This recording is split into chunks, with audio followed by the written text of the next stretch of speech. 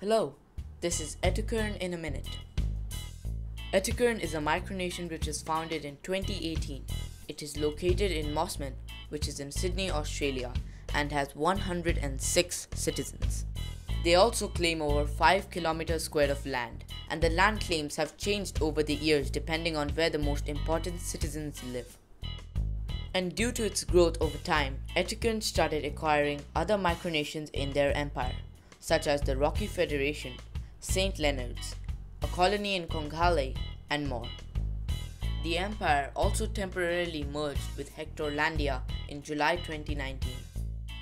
Their government is currently working on financial goals such as getting their currency restarted and also working on strategies to grow its businesses which include a soda company called Etucola and a content creation company called Andromeda Multimedia.